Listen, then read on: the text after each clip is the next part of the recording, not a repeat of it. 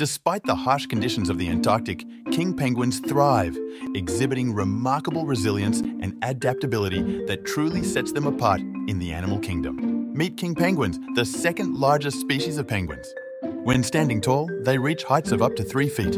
Unlike their icy relatives, king penguins live in surprisingly mild climates. Their colonies are a sight to behold, bustling with up to a million members. These regal creatures have a unique parenting style, they take turns incubating their single egg, balancing it on their feet for over two months. Their diet? Mainly lanternfish, but they can dive up to 300 metres to catch their meal. Remember, king penguins are more than just cute, they're fascinating.